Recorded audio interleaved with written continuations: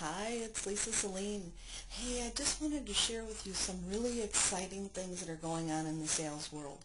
You know, I'm an avid follower of Jeffrey Gitomer.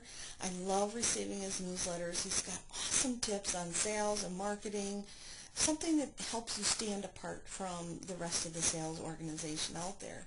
So if you are at all in a business and you want to stay connected with your customers and prospects, stand out from the other crowd, then you've definitely got to invest in the Ace of Sales system.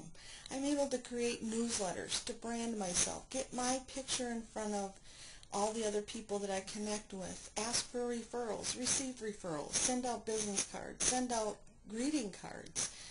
Um, and then once I can see that they've opened up the communication that I've sent to them, I can pick up the phone and call.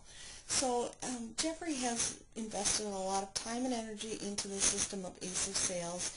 It is a knockdown system. You've got to have that in your tool belt. It's just awesome. So thanks so much and enjoy Ace of Sales.